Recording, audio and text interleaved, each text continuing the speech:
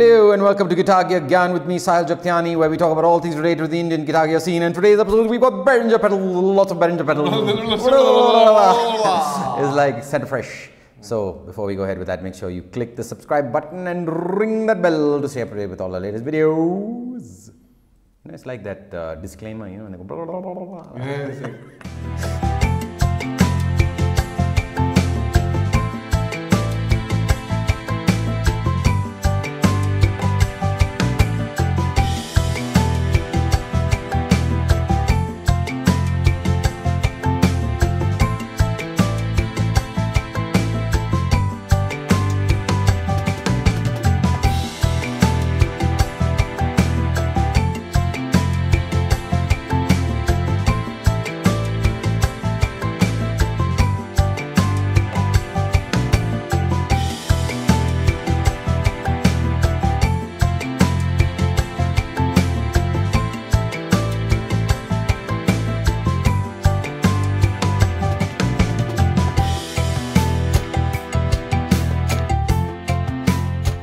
today I'm joined by Raghu. Hi Raghu, how are you doing?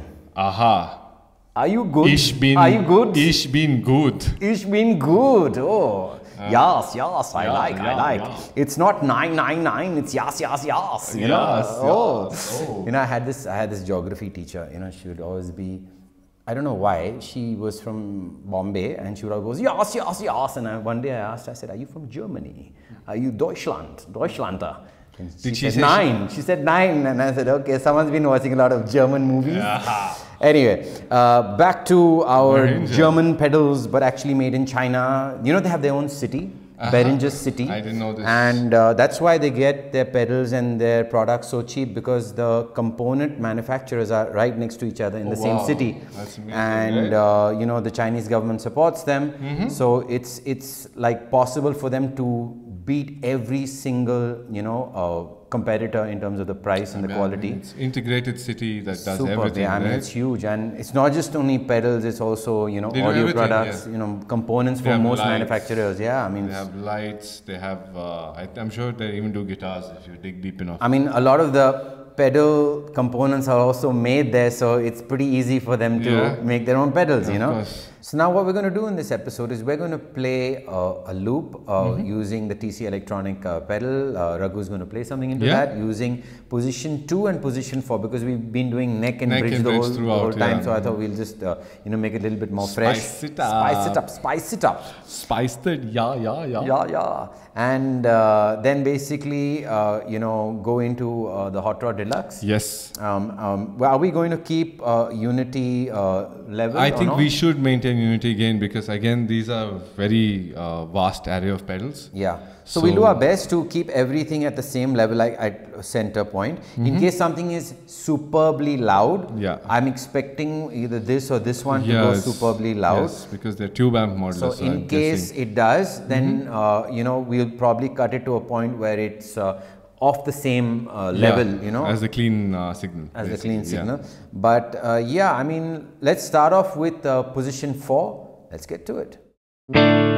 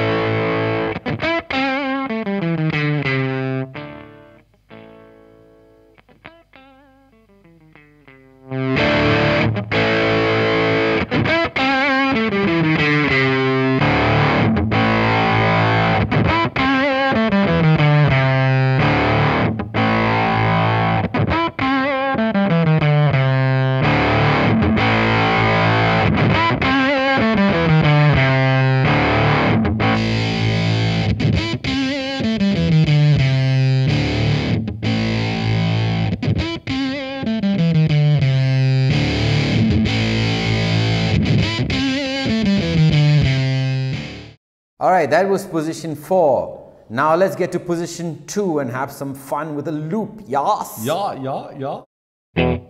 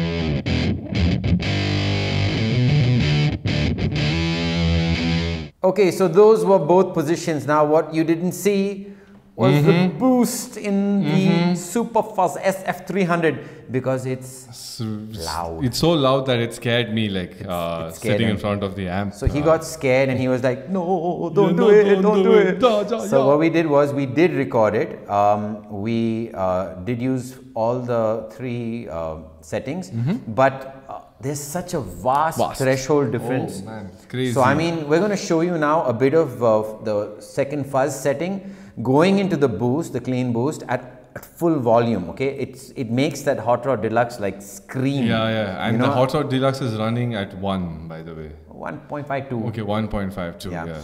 But still, I mean, It's- it's loud. That was that was like my neighbors would be like, you know, coming with pitchforks, you know, what are you doing, you know, kind of a thing. So we're going to show you now that playthrough. Enjoy it.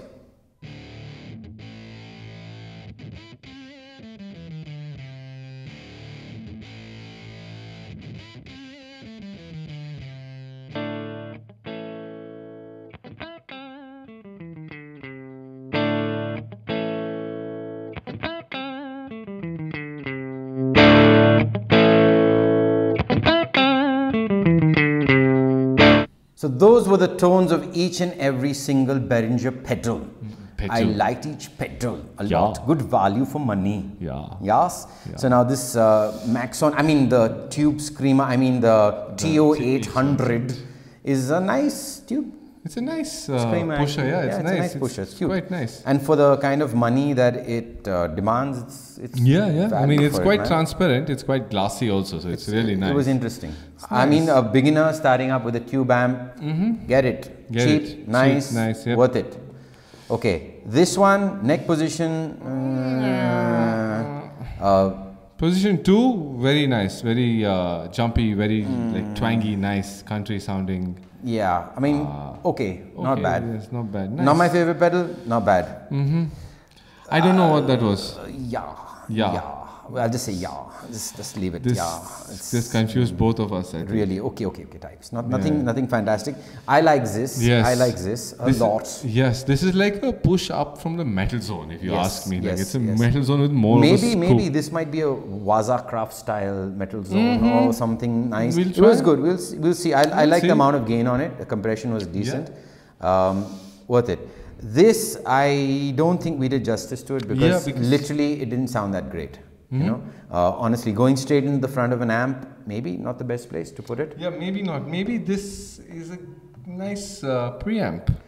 Yes, so we're going to use it as a preamp and see if we can get better tones from it. It went fuzzy, but Yeah, that's the, that's the strange part, right? really fuzzy. It went really fuzzy, especially at like gain levels beyond this. You could actually hear Yeah, the I mean, uh, yeah. breaking of the Yeah. tube itself, right? Yeah, I think this can be used as a fuzz pedal also. And can you imagine this into this? Oh, yes, I'm sure it'll- oh, it'll be fully fuzzy.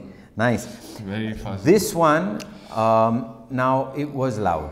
So we did cut the Yes, level. we did cut the Uh, level I think we that, just yes. left it at a quarter. I think a quarter, yeah. Was, yeah, so uh, that was good. was. I, I liked the sounds. I think I think for the the amount of money that you spend on it, yeah, it's, it's, great it's because you're getting a, again. This again should could be a pedal that we could try as a preamp I mean, could it go straight to the front into of the house? front of house. Exactly. So I mean, it's got a mic uh, yeah, placement. it's got a mic placement. It's got a that. mod. What mod basically? Whether it's a clean amp or a Yeah, high I mean, amp. I would love to see uh, this pedal and other tube modelers, Yeah. you know, in uh, competition with each other or side by side. so this and the Sans amp. Sans amp, uh, exactly. Maybe even the Iridium Strymon, if you're listening, you know what we want. Yes. But uh, getting uh, those three, one into uh, an effects loop, Yeah. you know, uh, Very curious to see, yeah. or maybe even into a power amp, a modeler, Mm-hmm. you know, um, like uh, what do you call it? Like uh, possibly uh, your wall of sound Yeah. uh, on your computer, or you know, uh, some other option. Let's see, Yeah, or maybe I mean- straight into the DAW and see how that record. sounds. Yeah, I mean this Yeah. should be interesting. I'm very curious about this guy. That fellow. This fellow is. Um, Okay, I, I tell you, I didn't like the fuzz. I didn't like the fuzz. I, didn't love like- the boost. The boost is loud. yeah, it's loud. I It's love it. loud. I mean, just for the boost alone, it's worth it. If you're a clean player and you Uh-huh. Need a clean boost, This is the pedal to buy. that's the pedal to buy, man. I mean, it's, the strangest combination, right? It's like imagine weird. having toothpaste and ice cream. yeah. It's fuzz and a clean boost, Boost. in one. And that was a good boost. It wasn't Yeah, a it's a bad really boost at nice all. boost, yeah. Very nice, clean boost. Yes. Um, uh, but yeah. this I think is my second or the third favorite pedal, the heavy, heavy, distortion. Yeah, it was good. Yeah, it was nice because you had a gain boost and a distortion level yes, yes, absolutely. So you could So you could get the highs and the mids also. up, exactly. yeah? So it was exactly. really nice to play with this one. It really sounded really. So I mean, for the prices that these pedals are at, it's a at, steel. it's a steal. It's a steel. Yeah. I mean, you compare them. Uh, we we did a lot. We did the entire Boss uh, drive-in Yeah. shootout, the TC. By the way, TC is owned by Behringer, and Yes. a lot of the components and the you know the parts Yes. are made by Behringer, of course. course. You know, so yeah, I mean, all in all, I'm happy to I'm happy, say yeah. that if you are a beginner and you are looking to start a pedal collection, mm-hmm. look at Behringer. Yeah, but one thing I would love to say, uh, Behringer, to Behringer is, guys, this is a really bad idea. What? Having your power, Oh, yes, definitely. power and the uh, input. Uh, yeah, I mean, it's a really bad idea. we had we had those uh, L-shaped cables. Yeah, even if you have the And straight end cables, straight-in because cables, no yeah. pedal board is going to use straight end cables, right? Yeah. Unless you're sticking it right next to each other, like Yeah. like so. Yeah. I don't think you're going to use straight end I. I think uh, you know power at the top is a better idea. Yeah, or power at the bottom also is a great idea, but like this is a really bad idea. And the thing is, the distances in each Yeah, of it too is close. not. It's too close yeah, it's the, not the same. the so if you can hold up another pedal, Yeah, and look at that. If you see the distances like of the power of the power here, Yeah. the distance there. there is no way. and there you yeah, so there's no way that it's going to connect. Like, and it's this is going to be a problem. So, Mm. So I mean, on that note, if you could change that up, that would be useful for getting Yeah. your pedals on more pedal boards. Yeah. But all in all, um, I think kudos pedals. to Behringer for yeah, bringing this impressed. range out. Impressed.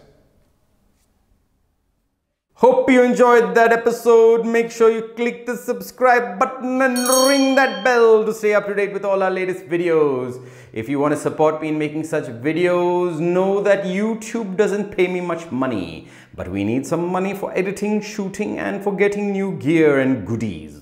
Now, in order to get some goodies, we're going to need some patrons. And where can you become a patron? You can become a patron on my Patreon link, which is in the card above. Go there and support this channel. If you want to support me even further, make sure you follow me on social media. Your likes, your clicks, and your comments all help. Make sure you follow me, SSJ Productions, and Guitar Gear Gyan on social media. Links are in the description below. And above all else, stay safe and wash your hands.